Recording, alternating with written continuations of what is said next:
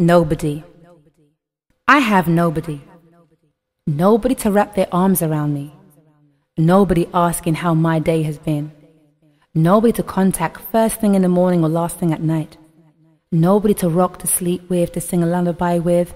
Nobody to remove the sting from life's wasps. Sunk in, removing it begins with Afrocentric loving, taking note of culture, restoring my faith in men. Nobody to lean on, nobody patting my back saying, baby, be strong. I have nobody.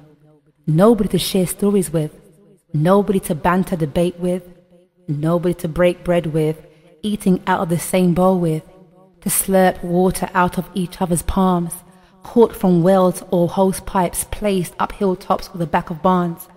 Nobody to wash, scrub nobody's back when too short is our arms. Nobody to clip fingers and toenails. Nobody complimenting how nice my hair and skin smells. Nobody to dress up for.